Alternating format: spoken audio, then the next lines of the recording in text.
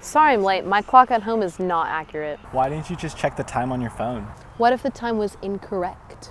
Don't phones have accurate time? Because they get their time from cell towers. But where do cell towers get the time from? Cell phones do get time from cell towers, which get time from satellites, which get time from the average of many atomic clocks.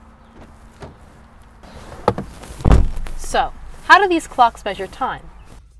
Time is the duration separating two events. Objects with repeating behaviors can be used to measure time, so the behavior of an atom's electrons are used. The definition of a second is the time it takes for a cesium atom's electron to transition more than 9 billion times. Scientists build atomic clocks to measure and count these transitions. I'm here at the U.S. Naval Observatory, where the Navy operates rubidium fountain clocks like this. Lasers cool a vapor of rubidium atoms into a ball, then toss it up through a microwave chamber. The atoms fall, passing through the chamber again. When the microwave frequency matches the difference between two energy levels, resonance occurs. The electron now consistently transitions between the levels and emits photons, or electromagnetic waves, allowing the clock to detect the transitions. Rubidium and cesium are used because their singular valence electron is easy to observe.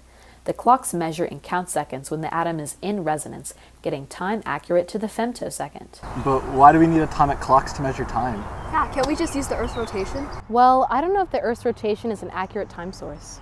It's not. Natural disasters cause the Earth's rotation to vary slightly. Universal Coordinated Time, the International Time Standard, factors in the Earth's rotation while using an accurate definition of a second derived from atomic clocks. This time is sent to satellites, which send time to cell towers, which send time to your phone. Now are you gonna check your phone? Juan, she can check the time without your sassy comments. Okay, fine. I'll use my phone. After all, it gets time from atomic clocks.